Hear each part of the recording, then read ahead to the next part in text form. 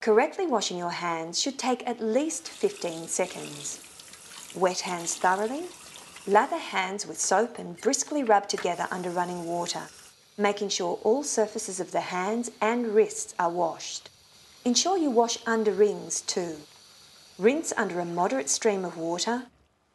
Dry thoroughly, using disposable towel if possible.